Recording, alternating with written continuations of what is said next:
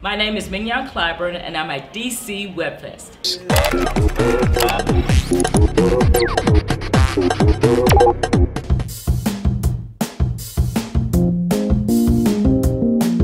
We'll be talking to web series producers, actors, and creators. So addictive, obvio. Oh, I think he misses her very much. Podés asistir a una de las So experiencias. the embassy is thrilled to be partnering with um, DC